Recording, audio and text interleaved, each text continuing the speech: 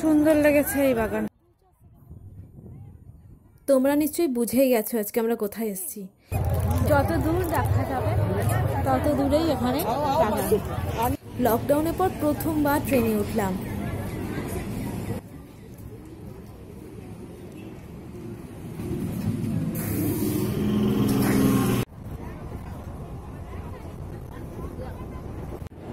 Kolaghat bridge পেরিয়ে আমরা এখন খিরাই স্টেশনে চলে এসেছি।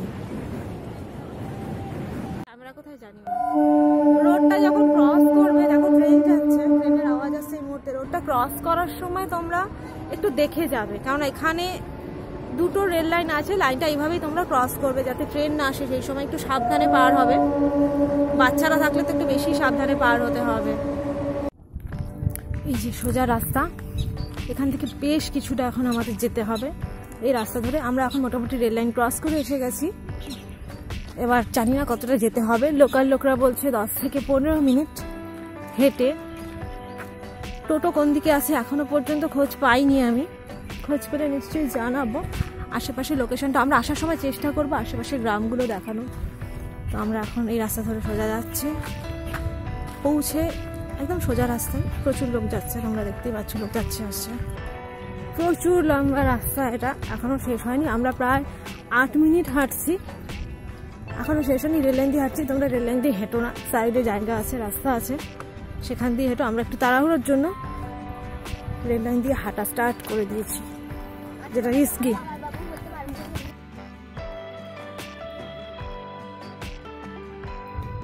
পথে যেতে যেতে দূর থেকেই দেখতে পাওয়া যাচ্ছে, যেখান থেকে অলরেডি বাগান স্টার্ট হয়ে গেছে।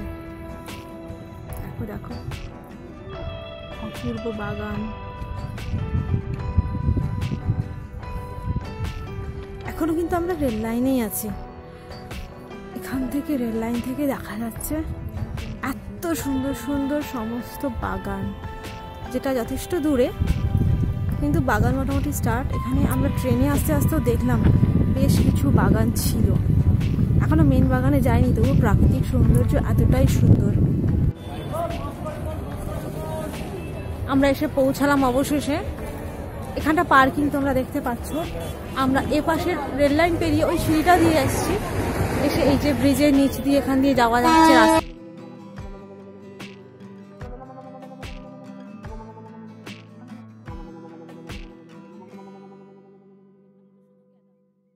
ফুলের প্রত্যেকটা ফুলের মধ্যে মৌমাছি বসে আছে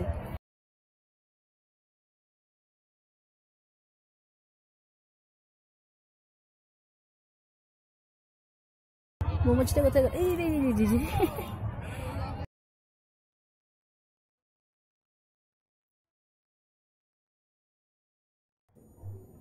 এক এক রকম ফুলের চাষ হয় এখানে বিস্তীর্ণ এলাকা জুড়ে যেটা নিজে চোখে না দেখলে আপনি বিশ্বাস করতে পারবেন না যে এতটা জায়গা জুড়ে এক এক রকমের ফুলের চাষ হচ্ছে। ছোট ছোট স্টল রয়েছে এখানে। আপনারা ফুল কিনতে চাইলেও কিনতে পারবেন। এবং মেয়েদেরও সুন্দর সুন্দর ক্রাউন পাওয়া যাচ্ছে এখানে। এখানে ফুলের দাম খুবই কম। আমরা যারা কলকাতা বা শহরতলিতে থাকি, যথেষ্ট চড়া দামে আমাদের ফুল কিনতে হয়। আপনারা যদি চান এখান থেকে ফুল অবশ্যই কিনতে পারেন, এতে চাষি ভাইদেরও কিছুটা হেল্প হয়। যদি আপনার স্টোর করার জায়গা থাকে, তাহলে সপ্তাহে একদিন এসে আপনি এখান থেকে কম দামে ফুল কিনে নিয়ে স্টোর করতে পারেন। আপনি চাইলে ফুলের ব্যবসাও শুরু করতে পারেন। হাওড়া স্টেশন থেকে খুব বেশি দূরে নয় জায়গাটা। সুতরাং আপনারা যদি চান ফুলের ব্যবসা করতে বা ফুলের ব্যবসা শুরু করতে, হাওড়া জেলার কাছাকাছি এটা বেস্ট বলে আমার মনে হয়েছে।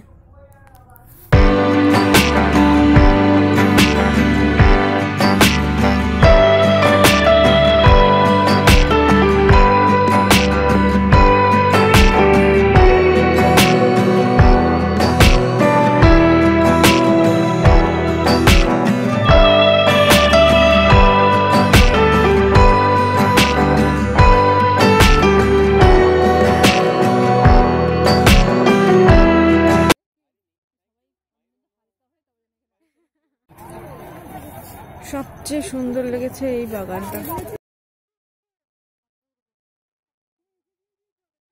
অপূর্ব।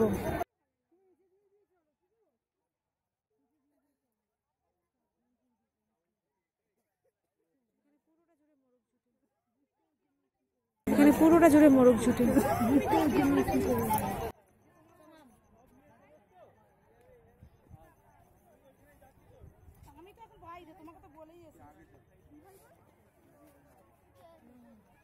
ঝুটে মটরশুটি হয়ে আছে।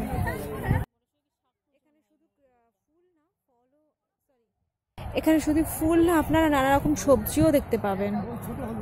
তবে ফুলের সংখ্যাটাই ম্যাক্সিমাম সবজিটা একটু কম।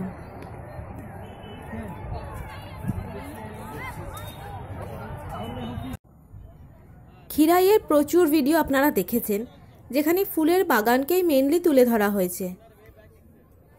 কিন্তু এখানে যে সবজি চাষও হয়, সেটার ভিডিও হয়তো একটু কম আপনারা দেখতে পাবেন।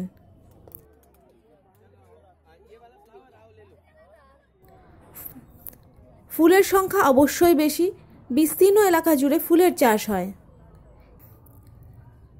আপনারা চাইলে এখান থেকে ফ্রেশ কিছু সবজি অবশ্যই বাড়ির জন্য নিয়ে যেতে পারেন।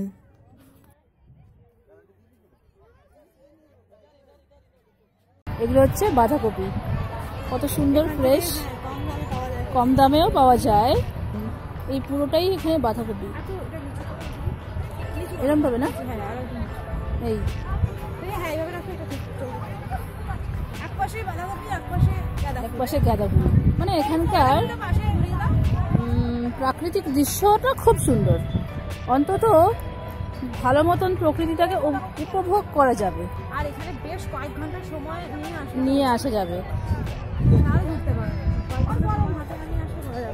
এই দেখুন এইগুলো কি ফুল? Cherry cherry. এখানে চীনা গাঁদা এটা চেরি। চেরি? ও এগুলো চেরি।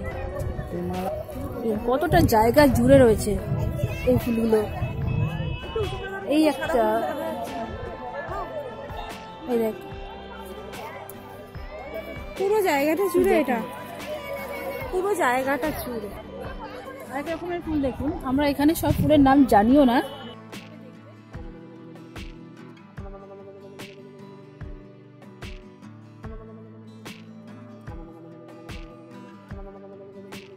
একটু একদম চলাফেরা রাস্তার মধ্যে শালগম হয়ে রয়েছে। দেখুন, কত সুন্দর ফুলগুলো কালারফুল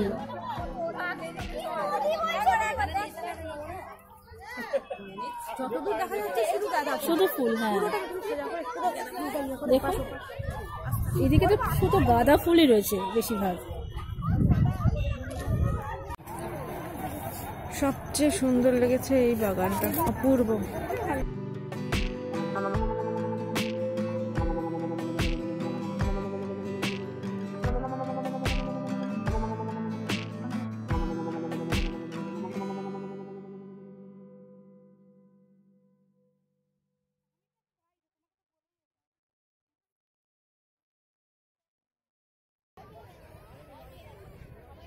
নিচে নেমে আমরা ট্রাই করব শ্যুট করার আমি জানি না।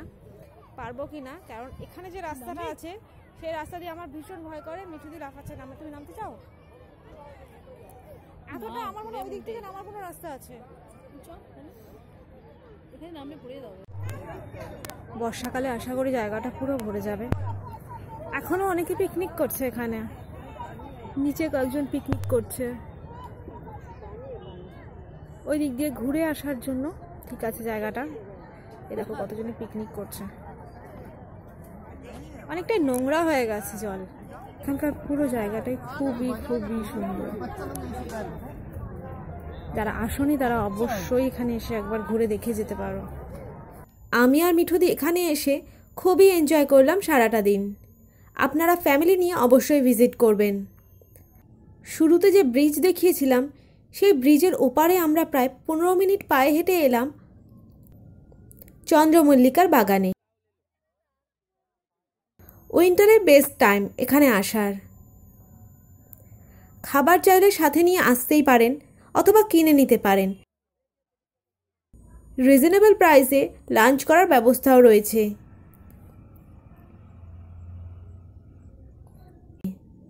এই অঞ্চলকে অনেকে মল্লিক বাগানও বলে থাকেন। টোটোতে যেতে পারেন চাইলে বয়স্ক যারা হাঁটতে পারবেন না, তারা অবশ্যই টোটো ভাড়া করে নেবেন। কিন্তু আমরা গ্রামের প্রাকৃতিক সৌন্দর্য বেশিক্ষণ দেখার জন্য পায়ে হেঁটেই রওনা দিয়েছিলাম।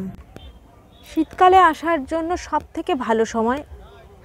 যদি আপনি খিরাইতে আসতে চান, তাহলে অবশ্যই শীতকালে আসবেন। গরমকাল অথবা বর্ষাকালে আসলে পুরো এলাকা প্লাবিত হয়ে ভেসে যায়। তখন এখানে বাগান বা এই সমস্ত ফুলের সৌন্দর্য আপনি উপভোগ করতে পারবেন না।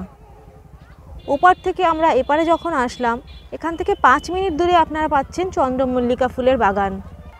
এখান থেকে পনেরো কুড়ি মিনিট পায়ে হাঁটা পথ গোলাপ বাগান। যদি না পারেন আপনি এখানে টোটোর ব্যবস্থা আছে। টোটো রিজার্ভ করে আপনারা অনায়াসেই চলে যেতে পারেন গোলাপ বাগানে। আপাতত এই মুহূর্তে আমরা চন্দ্রমল্লিকা বাগানে আছি।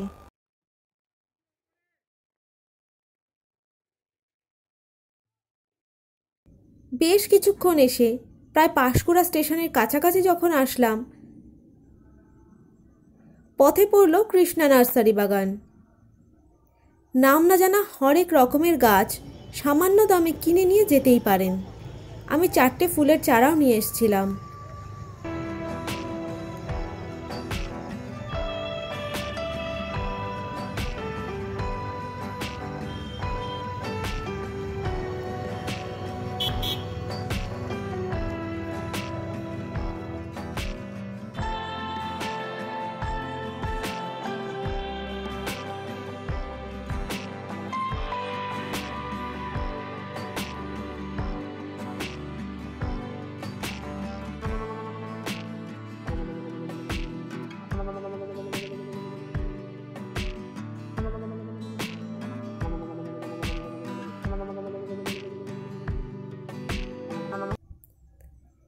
সারাদিন ঘোরার পর ক্লান্ত হয়ে এখন বাড়ি ফেরার পালা।